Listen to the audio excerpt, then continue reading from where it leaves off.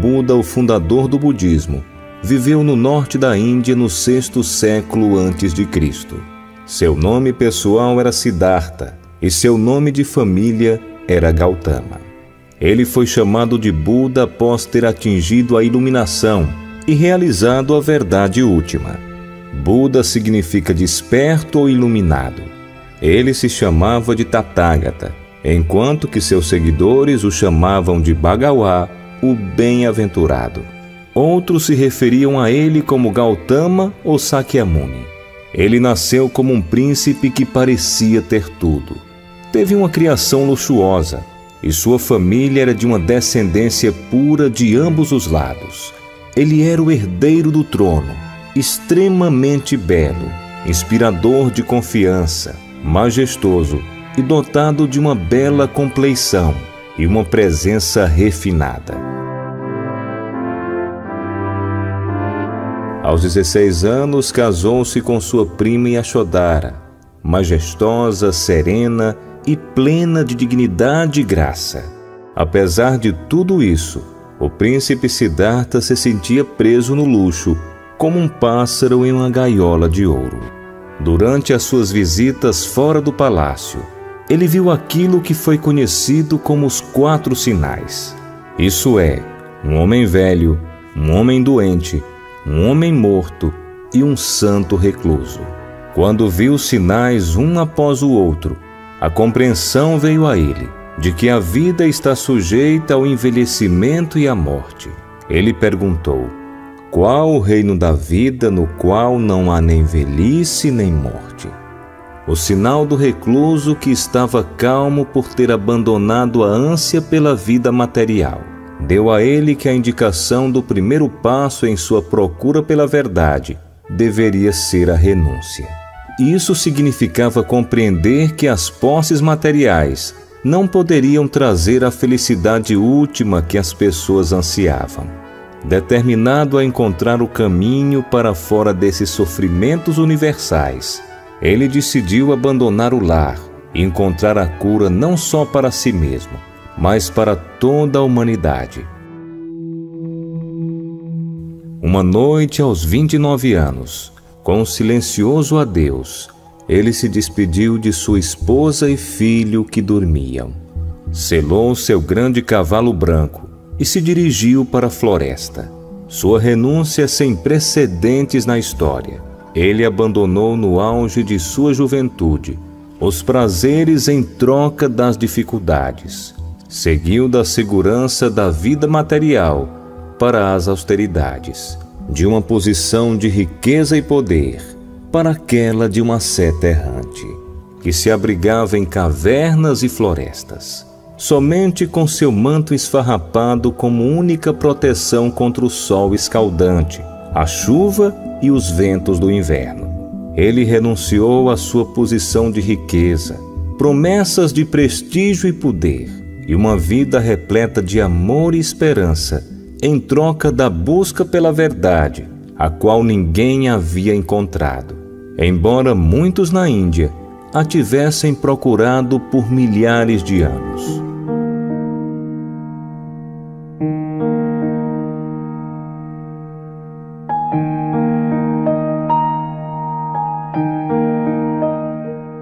Por seis longos anos, Siddhartha se dedicou a encontrar a verdade. Qual a verdade ele buscava? Era entender verdadeiramente a natureza da existência encontrar a felicidade derradeira e imutável. Estudou sob os mais proeminentes mestres da época e aprendeu tudo que tais professores religiosos podiam lhe ensinar. Quando descobriu que não podiam ensinar aquilo que estava buscando, ele decidiu encontrar a verdade por seus próprios esforços. Um bando de ascetas se juntou a ele e juntos praticavam severas austeridades, na crença que se o corpo fosse torturado, então a alma seria liberta do sofrimento. Siddhartha era um homem de energia e força de vontade e superou os outros ascetas em cada austeridade que praticava. Quando jejuava, ele comia tão pouco que, quando olhava a pele de seu estômago, ele conseguia tocar sua coluna vertebral. Ele se pressionou a realizar feitos supra-humanos de autotortura, de maneira que certamente teria morrido, mas compreendeu a futilidade da automortificação e, ao invés disso, decidiu praticar a moderação.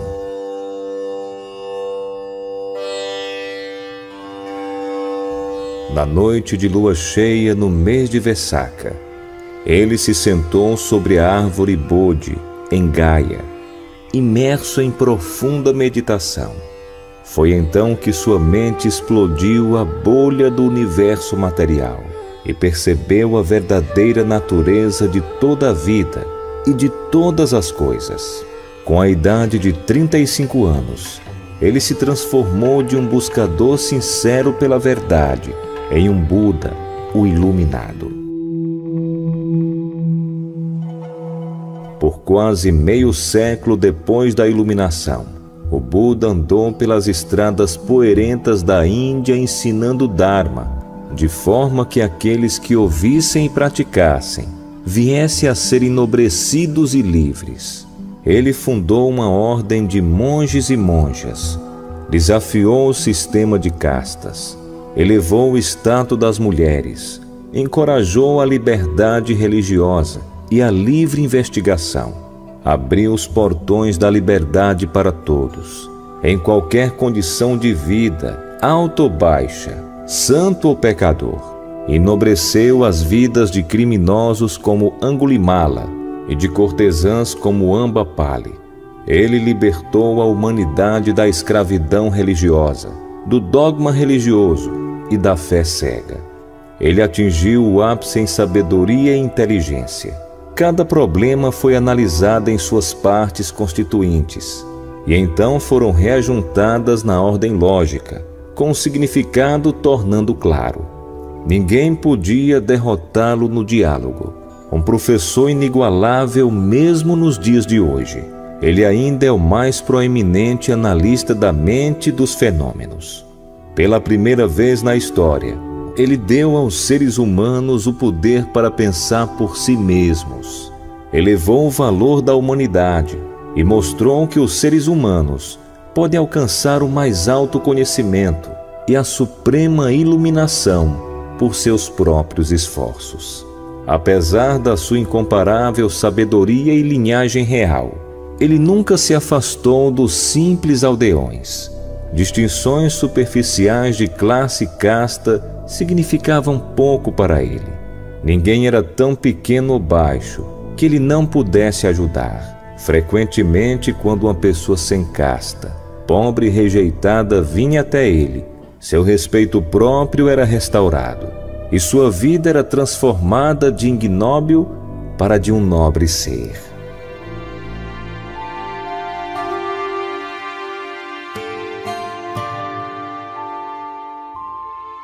O Buda era pleno de compaixão, karuna e sabedoria, panha, conhecedor do como e do que ensinar aos indivíduos de acordo com seu nível de entendimento.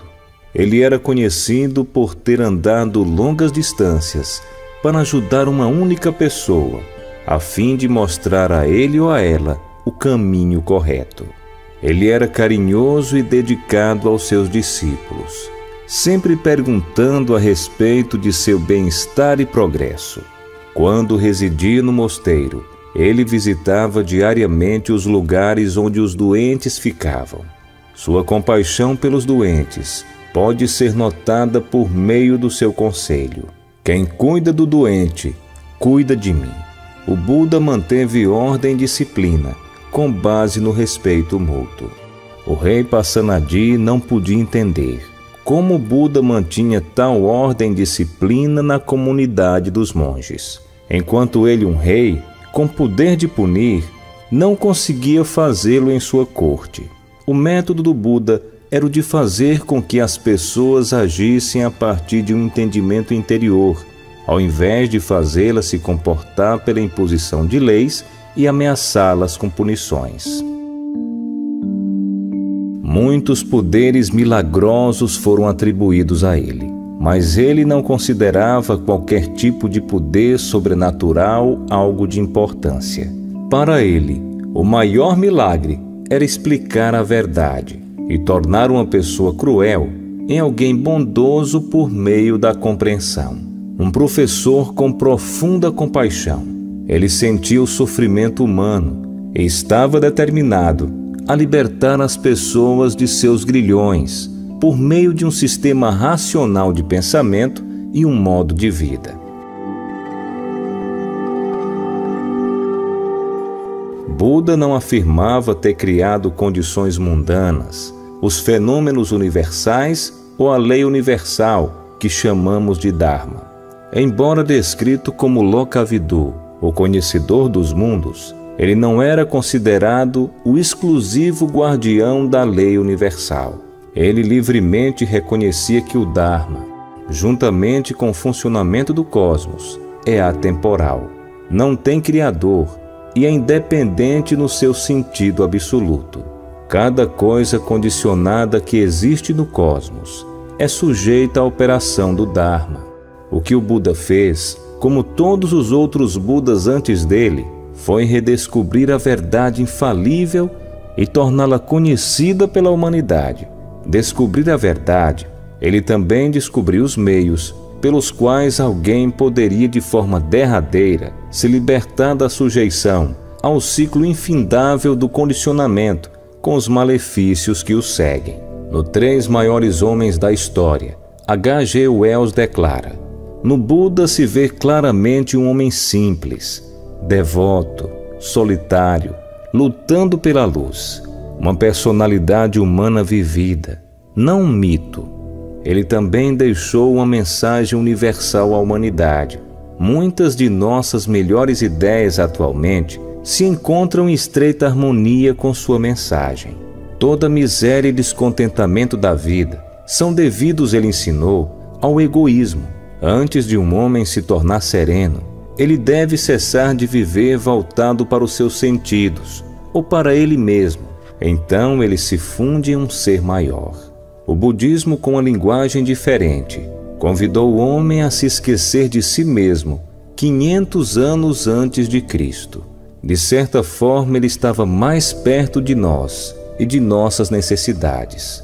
Ele foi mais lúcido quanto à nossa importância individual no serviço do que Cristo, e menos ambíguo quanto à questão da imortalidade pessoal. Após 45 anos de ministério, o Buda faleceu.